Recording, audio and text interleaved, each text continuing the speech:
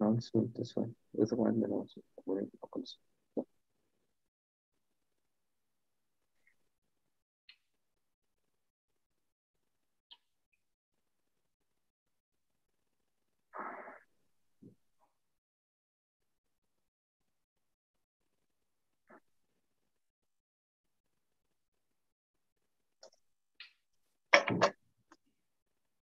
Number three.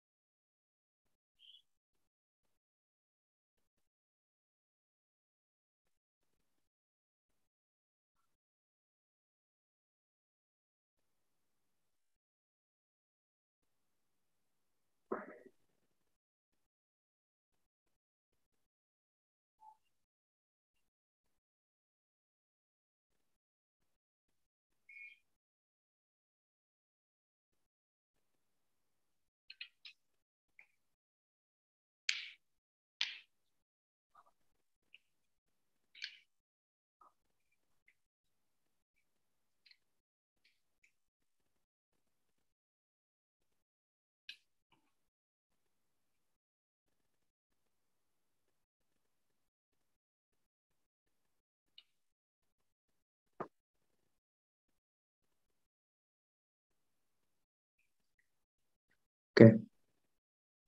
Um, good evening to all our colleagues.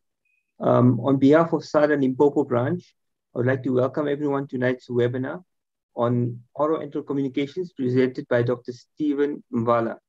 Um, before we start, I'd like a few house rules that we need to go through.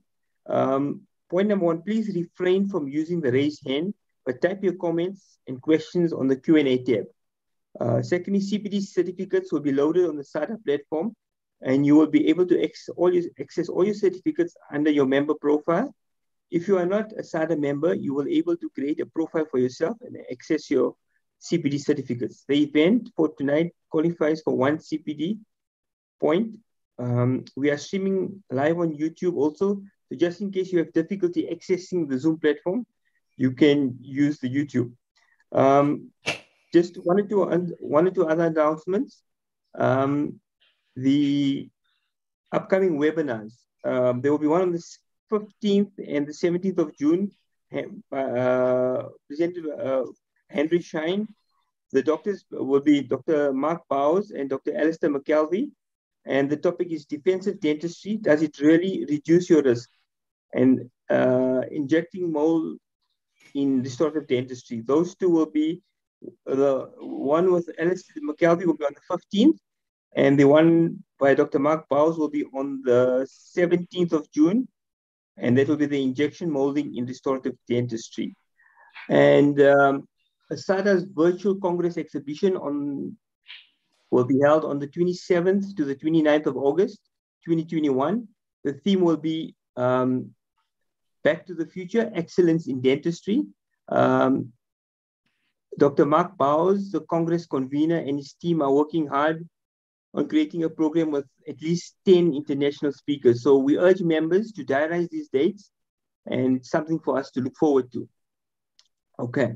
Um, now that we've gone through all the announcements, we can start with tonight's presentation.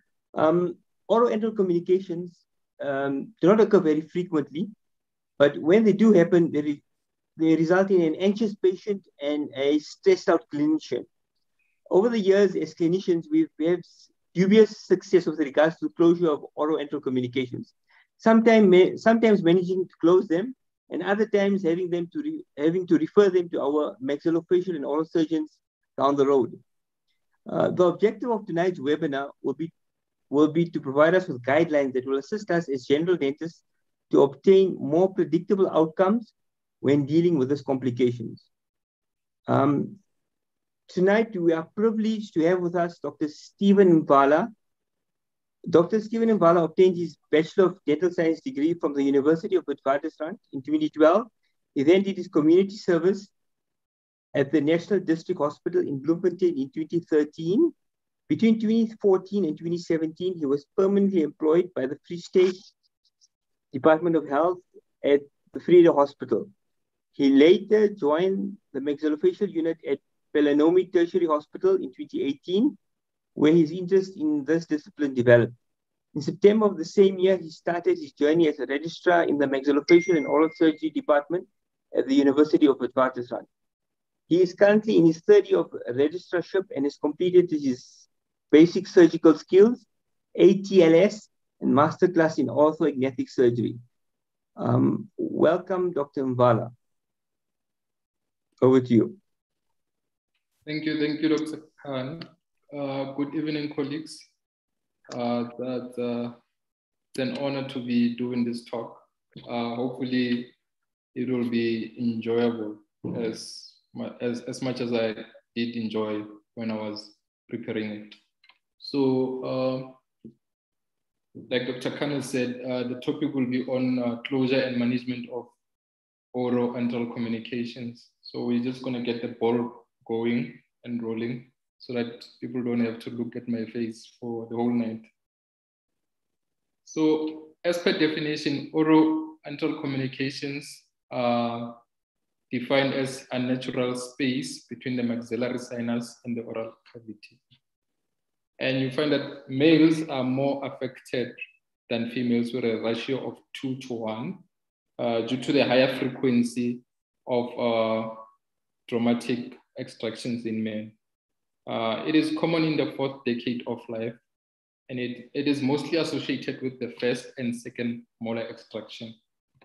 Um, the most common uh, route that this can occur from is actually the mesiobuccal root of the second molar, which is about uh, 0.83 millimeters from the apex of it is 0.83 millimeters from the sinus floor. The second most common uh, uh, root will be the palatal root of the first molar, which is about uh, uh 1.56 millimeters from the sinus floor. An oral antral fistula is when you get um, uh, epithelialization between uh, of that OAC. And it usually occurs when an OAC persists uh, for longer than 72 hours. So when you get into the types of OAC, this is just a, a, a brief classification according to their location. You get alveolo-sinusal ones, which are the most common. They follow, they normally follow uh, dental extractions. Vestibulo-sinusal, uh, which occur on the vestibular side, like the name suggests. They follow caudal look procedures uh, and the cleft lip alveolus. And then you get ones that occur on the palate. Uh, they're called the palatal sinusal OAC. They usually result from pathology or trauma, e.g. from the foot fractures or after a maxillectomy. So with regards to the anatomy of the maxillary bone and the maxillary sinus, because those are structures that we are interested in. So the maxillary bone it forms the upper jaw. Uh, it is involved in the formation of the orbit, uh, the nose. It's pyramidal in shape, it has five processes. So it's got the body, which will then house the maxillary sinus, the frontal process, the zygomatic process, the palatine process, which we'll see as we go ahead with the presentation. It's important in the management. Uh, some of the management options are actually from the palate and the alveolar, which houses our, our teeth. So this is a slide just showing the um, blood supply and uh, innervation of the palate. As we can see, it's from the greater palatine and the lesser palatine uh, artery and the nerve supply from the greater and lesser palatine nerves. With regards to the maxillary sinus, eh, it, it is the largest of the sinuses. Uh, it's got five walls, which are the anterior medial, which communicates with the lateral nasal wall, the superior, which is formed by the floor of the orbit, the posterior formed by the zygomatic and the sphenoid bone, and the lateral. So it is lined uh, by uh, a pseudostratified ciliated columnar epithelium called the Schneiderian membrane. So usually when you get infection of the, of the, of the sinus, inflammation, uh, this is the, the, the, the, the, membrane which uh, is responsible for sinusitis. It has an ostium medially, which uh, it communicates with the middle meatus with. So this is um, the radiographic classification of the roots to, to the sinus floor. Uh, it was made by Hasegawa and colleagues. So it usually they use it to predict the chances or the likelihood of getting um, an OAC post uh, an extraction. So they divided it into type one to five. With your type one, that's where you get a clear distinction between the, the roots and the, the floor of the sinus. So as we can tell, the roots are pretty much far from the floor of the sinus. So when you look at an X-ray, take an X-ray and you look, you can see with this type one, you are actually safe. It's highly unlikely unless you fracture something very high up that you might end up with an OEC.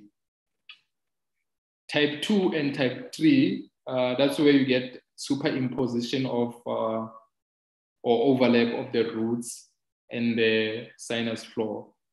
And then as we can all imagine that type 2 and type 3 would be um, associated with a higher risk of having an OAC after an extraction. So type 4, uh, it's where the sinus 4, the, the sinus floor is in close, close proximity to the roots, but you can see a clear distinction between uh, the floor and the roots. So there's relative risk of getting an OAC post extraction. Usually when uh, the, the, the, extraction was very traumatic, you might get, a, get uh, an OAC. But if uh, the extraction was gentle, atraumatic, um, you can possibly get away without an OAC. And then type five, um, it's where um, there's an indistinct relationship uh, of the floor uh, and the roots.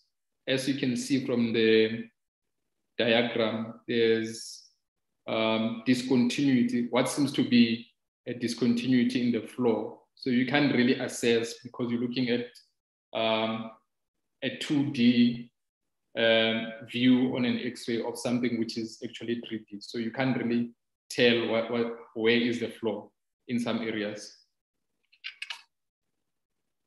So the etiology of OACs um, is mostly caused by dental extractions, uh, fracture of, of the tuberosity. This usually happens when you extracting a long-standing um, aid and then you use extreme force and then you just fracture the tuberosity. If then the tuberosity is in close uh, approximation to the sinus, you might get an OAC. Um, you also get them from pathological lesions, whether those lesions um, originate from the maxilla or from the sinus, it can result in an OAC. Uh, also from uh, implant dis dislodgement into the sinus. Also, although very rare, you can get them from uh, Le Fort osteotomies or when you do your Caldwell loop procedure like I've said, um, the dental extractions are the most common. Um, the first and second molar extraction are mostly implicated. So this is due to the close proximity of the apices to, to the sinus. And then fracture of the tuberosity, like we can see on this uh, uh, image here, the fracture was there quite high, which then on the floor resulted in a, uh, discontinuity of the flow and communication there. And then with the dislodgement of the implant, uh, that's where you get an implant in, in the sinus. Uh, so with regards to the signs and symptoms uh, of uh, OACs, you get uh, bubbling of blood in the socket. Uh, they can come with pain. there's altered nasal resonance. You get unilateral unilateral nasal regurgitation of liquids or nasal discharge. They also present with foul odor and taste. And then you can also get uh, sinusitis depending on how long the patient has had the, the, the, the, the, the problem. Uh, what is also important is to know that uh, uh, and also to recognize that sometimes you might induce uh, an OAC and then the patient doesn't come back complaining. So you get those few patients that actually can be asymptomatic. With uh, the diagnosis of uh, OACs, firstly, you can get a pretty good idea from the history taking, especially if the patient went to an, uh, for an extraction from another practitioner and an OAC was missed, now they come to you, you would actually get from the history the signs and symptoms uh, that will give you a pretty much uh, a good idea that you're dealing with an OAC. And then you go on to your intraoral examination where you can um, examine the site. If uh, the perforation is big enough or the defect is big enough, you can visual, visualize it. Uh, you can ask the patient to blow their cheeks. And then if there's an OAC, obviously the, the, the, the, the air will then escape through the OAC into the nose. Uh, you can put a mirror on, on, on the socket and then you actually, if there's an OAC, you will see fogging of, of that mouth mirror. Uh, you can ask the patient to do a Valsalva test, which is just to ask uh, the patient to close their, their nose and gently expel air against that uh, closed nose with the mouth open. Um, so if there is an OAC, uh, air will pass through the, the communication or blood will, will, will, will, will drop from that uh, communication that would indicate a positive uh, test. And then with your special investigations, you can take periapicals, penalips, CBCT, or if even if you, you go fancy and you do a CT scan, but it just depends on what, what you have available. Uh, with regards to special investigation, it is always important to do an X-ray before you do any tooth extraction. I know we, we, we, we all get taught that you can't do an extraction uh, without an X-ray, but uh, where we do our concepts and where we, we, we practice, it's not always possible, but it's, it, it is important that you, you, you do take an X-ray. Uh, especially for teeth that are, are mobile and there's no gross period that can maybe uh, explain the mobility of the tooth because now you, you could be dealing with uh, periapical lesions or pathologies. So just extracting the teeth and being happy that the tooth is out, uh, you might have left a bigger problem uh, under the periapical. So with uh, management of this uh, oral communications, uh, there are a few factors that uh, affect the actual management. uh, the first one is the size of the defect, like we're gonna see shortly, um, the duration at diagnosis. So obviously you can't treat um, an OAC that has just happened now the same way as uh, a long-standing one, because now there's presence of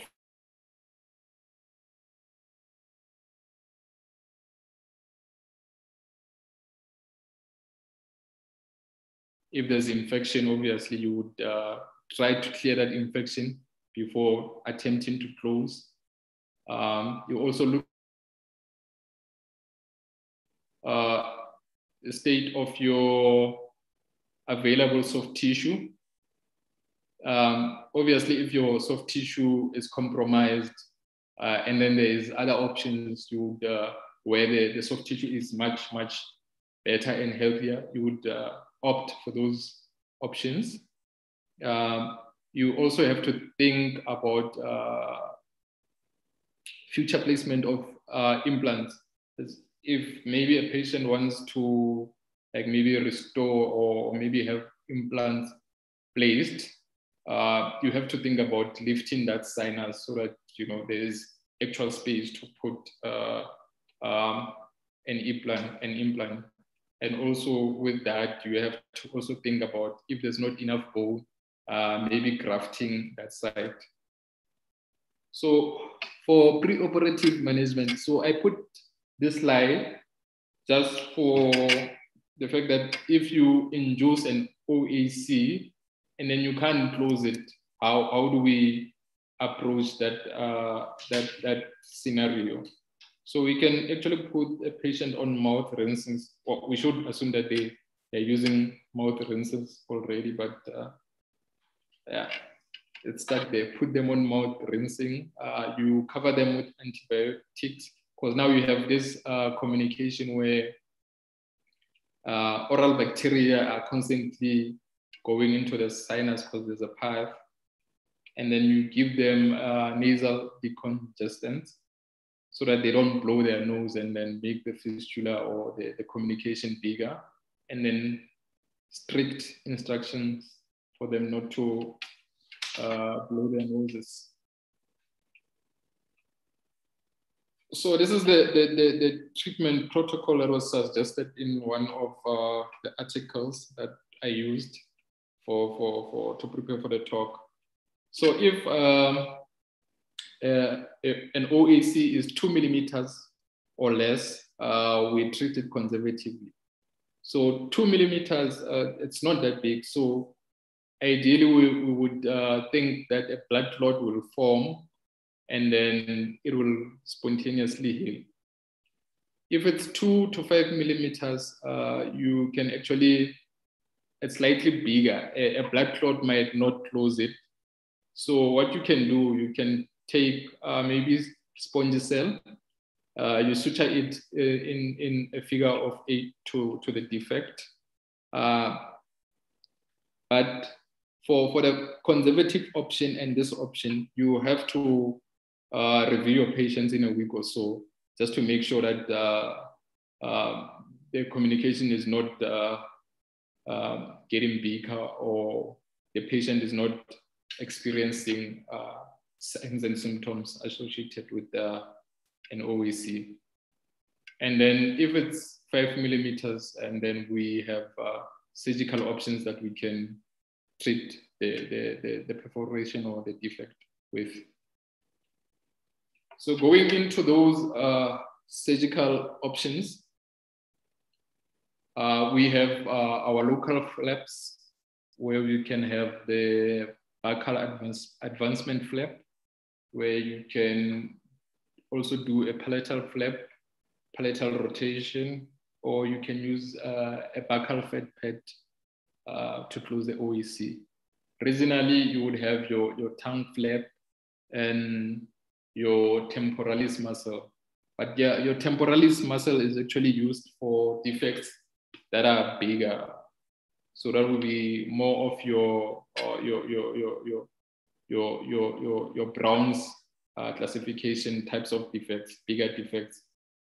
And you could use bone grafts uh, we could uh, also use, uh, well, the bone grafts, you can get the bone from the ramus. You can also get it from the symph area uh, or from the maxillary uh, tuberosity.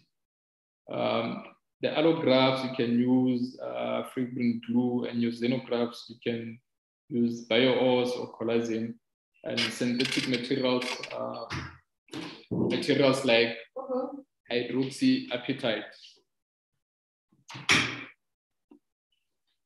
Uh, so going into detail with your buccal advancement flap, uh, which is uh, also known as a Rehrmann flap. It, it is the oldest, the most common, and um, I suppose the easiest to do. Uh, it is used for small to moderately sized uh, OACs. It is uh, a trapezoidal mucoperiosteal flap with a wide base, which the wide base will give you good blood supply so that you don't have necrosis of your flap. And when doing it, you should always make sure that uh, it's 50% more than the, the defect. And it is also important to score the periosteum uh, on the vestibule so that you get uh, mobility of that flap and then you don't close it under tension. Uh, the, the disadvantage of this is to, it shortens the, the buccal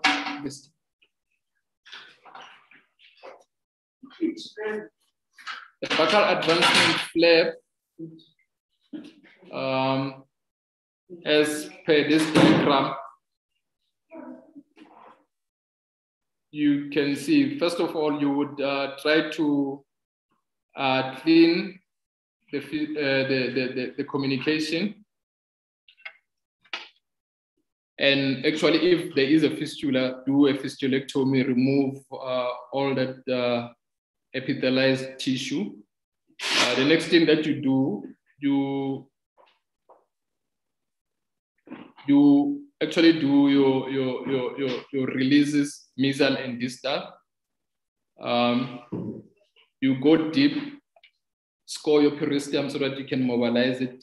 The other thing you can do, um, just to reduce the tension that's placed on that uh, flap, you can cut, um, nibble a bit of bone so that you can uh, approximate the, the, the, the, the buccal um, flap more palatal. And then also release, the other thing that's useful is to release your, your, your palatal mucosa so that you can nicely suture it and maybe advance it a bit to, to, to close the defect. And then you, you suture it and after that, obviously the patient will get post-op instructions and like, you know, soft diet, uh, no nose blowing, and then it will be reviewed in a week or two. So for the buccal advancement flap, the buccal advancement flap, um, it's, it's usually successful for closure of these OACs. For the palatal flap, it is used for defects larger than 10 millimeters. It can be used in conjunction with the buccal advancement flap. Um, it is contraindicated in patients with uh, palatoplasty or any palatal defects. Uh, they say this one, or the mucosa is actually thicker than the, the, the buccal mucosa, so it is more resistant than the buccal advancement flap. The other thing that we can use um, is the buccal fat pad, uh, which lies between the buccinator and the masseter muscles. Um, it has uh, four extensions and a central body. Uh, so usually for closure of this uh, uh, oroantral communications, we use the we use the buccal and the body. It is rich in blood supply. It is resistant to contraction it is used for larger defects, and then you can uh, use it in conjunction with the Rehrmann flap also. Uh, the tongue flap uh, is mostly used for defects on the hard palate. Uh, these defects have to be larger than 15 millimeters. Um, it, it, its advantage is that uh, it's from the tongue. We all know that the tongue has good blood supply. The only thing with it, you have to uh, sort of like put uh, the patient in intermaxillary fixation just to protect your flap because the tongue always wants to move and if the patient is going to function, they might disturb the, the flap. And after about 14 to 21 days, you actually go in, remove the IMF, cut the base of, of, of, of, of, of the pedicle so that uh, you free the tongue. So with uh, regards to your post-operative uh, management, patient should be always placed on analgesics, uh, antibiotics, um, just to prevent, uh, well, it, it depends on the duration of uh, uh the, the, communication. If there was some sort of uh, a, a sinus infection, you don't want to close the defect and just leave the infection in, in, in the sinus. Uh, you ask your patient to be on soft diet strictly to, so that you don't disturb uh, your, your flap and give it time to take. Uh, you put your patient on nasal uh, decongestants like uh, uh, nasal sprays and Iliadin so that they don't uh, blow their nose and then make the defect bigger. So what are, what are some of the complications that can arise from uh, this treatment of OACs? You can get dehiscence of the flap, you can get flap necrosis, especially if uh, the, the, the, the, the, the, flap is stretched too much and then that will obviously compromise the blood supply you get infection, maybe you close it without treating uh, the infection that was already in the sinus and then that just tracks down. You get uh, trismus, you get depression in the cheek.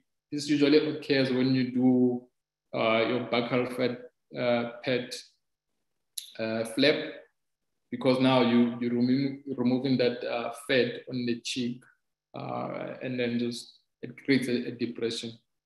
Um, uh, another complication could be you, you would get a shallow vestibule uh, that um, happens after a, a buccal advancement flap. So that would be like uh, a thing that you can consider if you're planning to do uh, a denture for the patient. So if you plan to do a denture for, for, for a patient, you would rather use another option other than the buccal uh, advancement flap because that will certainly shorten your vestibule and then that will impact the retention of your of your denture. Uh, these are some of the references uh, that I used for preparing this, um, this talk. The, the first one is extremely useful. Uh, that one I would recommend that uh, we can try get all the information that you need uh, um, for, for, for, for management or um, dealing with OAC is, in, is, is, is contained in there. Uh, thank you for your time, guys. Uh, just in summary, in, in conclusions, um, just a few points that I wanted to, to, to make uh, or maybe put a stamp on. Uh, we should always, always do x-rays prior to extractions and then we can use the Hasegawa classification is extremely useful to, to, to, to, to, develop a high index of suspicion, uh, whether you're going to develop uh, an OAC or not. Obviously, we would be looking more at type 2 and type 3 and maybe type 5.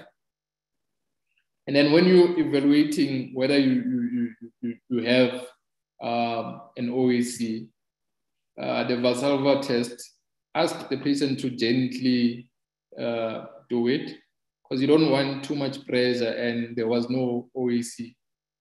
Now, because of the Valsalva test, there is one. And one thing that uh, we, we don't do is uh, probing. Because actually with probing, you, you don't know that you're perforating the, the floor. And with regards to um, closure of this OACs, if you close it and the patient goes and then they come back and uh, it complicates, it, it's, it's still there. I think the best thing is to, to, to refer and quick uh, referral so that we, we, we stop uh, infections. And then if you're not sure, uh, I, I, recommend that the buccal advancement flap, it's a pretty much easy one. That one everyone can attempt. But if you're looking at something more complicated that like uh, maybe a tongue flap or or even a palatal rotation flap, you can always refer to the closest MaxFac. And then it, it is also important to give uh, the patient uh, post-operative instructions, strict ones. I thank you. Um, Dr. Mvala, thank you for that. Um, I just want to get a few questions that have come in. Um, tell me the type of suture material that you'd use when uh, uh, doing these surgical procedures. What would you suggest? Chromic sutures, silk sutures? What would you suggest? Uh, I think any any suture material that slowly uh, resolves would actually work because you're looking at uh, uh, probably a week or so, and then the thing would uh, the OAC would would, would heal. Um, I wouldn't recommend it's intraoral. I wouldn't recommend something that needs to be removed. So chromic uh, would, would, would I think would, would su suffice. Okay, and uh, suturing techniques. Uh, we, you know, when closing this uh, mattress sutures, interrupted sutures, uh, when trying to do the surgical, doing the buccal flaps. Um, I, I think it's just personal preference. Uh, for me, I always trust um, uh, your, your, your, your, your interrupted. Because the other thing, you don't want to put your flap through too much tension. So if you you're doing uh, interrupted, I, I think that, that would work. But uh, like I said, it just goes according to personal preference. The, the most important thing is to know that uh, you placed uh, your, your sutures in good tissue that will hold.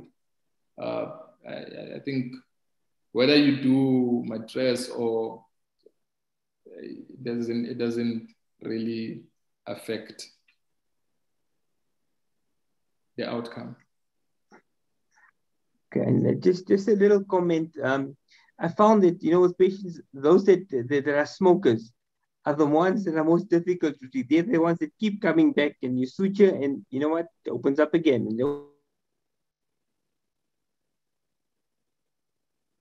And patients that are uh, smokers find it uh, much more challenging as opposed to patients that are non-smokers obviously with uh, Dr. Khan, with uh, smoking, it, uh, it already compromises your, your, your, your, your blood supply to that, to that flap. So uh, I, I suppose, like I said, strict instructions to the patients. And if in doubt, uh, you're thinking, if I do a buccal advancement flap, it might fail because um, he smokes, then just escalate it to a MaxFac and then uh, we can do it once and then we, we know it's, it's, it's, it's done. But obviously, their, their smoking um, um, will affect uh, the, the, the, quality of blood supply to that flap, hence the higher failure rate in, the, in those individuals. Okay, um, just another question. Um, um, uh, the types of antibiotics, uh, preferences, analgesics, and decongestants it may be prescribed pre and post operatively? Um, we can always uh, use uh, Aladinas and uh, nasal congestant. Um, in terms of your, your normal analgesics, because your, your, your, your Panadol and Brufen would, would, would work if the patient complains of too much uh, pain. Um, we, we, we, we can always go uh, to, to, to uh, medications like Tramal. But for your antibiotics, um, I would say probably uh, augmentin would, would, would, would work well for you. Okay, and uh, okay, so, and no, tell me, um, someone uh, no mention of PRF uh, to treat small to medium OACs, which is very successful in treating OAC without raising a flap. I don't know if Dr. Mvala knows about that PRF treatment. To treat no, I'm, not, I'm not aware of it. You can just uh, tell me more about it. No, I, I, is one of the questions that came in, Doc. Uh, oh, okay. I'm also not aware of it. I just thought maybe you do. It just says PRF to treat small to medium without raising a flap? I'm not. I will look into oh. it. I will, I will have to look into it. Okay. Um, if a patient drinks water and it flows and passes through the nose, is it an acceptable method to diagnose an OAC? If a patient drinks water and then it passes, yes, it's, yeah. it's, it's, actually one of the symptoms that were listed in the presentation that uh, you get uh, uh, nasal regurgitation of your, your, your fluids that you, you drank orally. So okay. most of the patients will come in already complaining of that. Um, because I mean, uh, it's, it's not nice to be sitting in a restaurant and then you you're drinking your your nice juice and then it just comes out of your nose. yes, yes, yes, of course, of course. Um, uh, what uh, suture needle? The needle should it be round or cutting, or does it make a difference? It's just uh, like again I've said with um, uh, preference of of of uh, the person who's doing the procedure. I, I, I, I personally prefer non-cutting. Uh, I find it to be much better in my hands. But I cannot uh, say to another person, you cannot use uh, cutting because I prefer the other. So it totally uh, depends on the individual doing the procedure. Um, what is the best method to clean the fistula?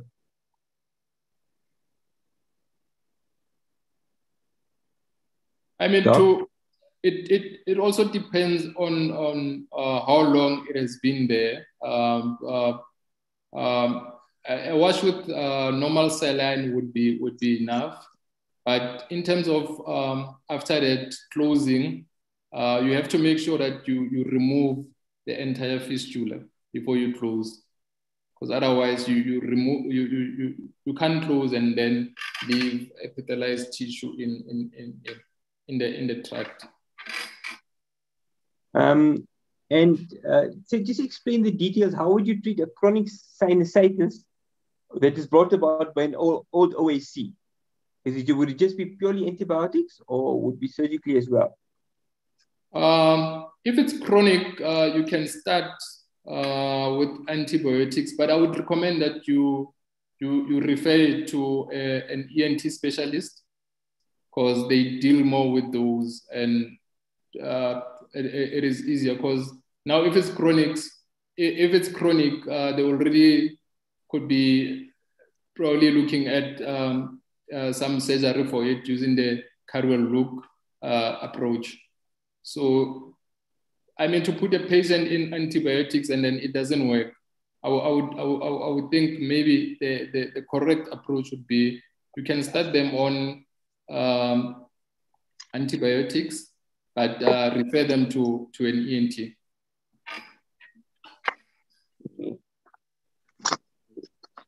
Um, see if there any more questions. Um,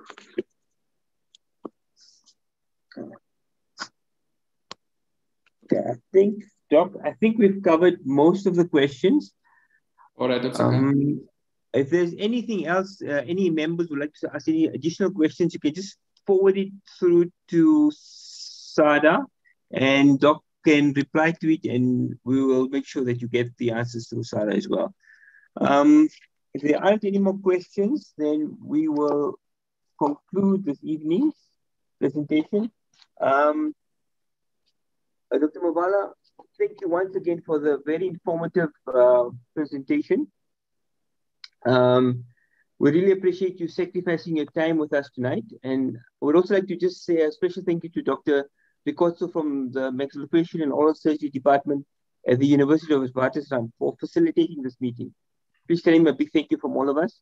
And uh, for everyone from SADA head office, uh, for the technical support that they've, they, they, they, they've provided, they've provided for us this evening. And um, also to all SADA members, uh, hope, you, hope you enjoyed the presentation and it was beneficial to everyone attending. Um, once again, thank you. Good night and stay safe. Dr. Mvala, all the, all the best. Thank you uh, once again. We really appreciate it. Thank you, thank you, Dr. Khan. And to the colleagues, it, it was an absolute honor doing this uh, talk. Um, I hope it uh, uh, benefits um, all of us. And I apologize that you had to look at my face for about an hour. I'm sorry. it, it, it, was, it was a pleasure, Doctor. We, we really appreciate it. Okay. Okay, you keep well. Good night. All the best. Thank you. All the best.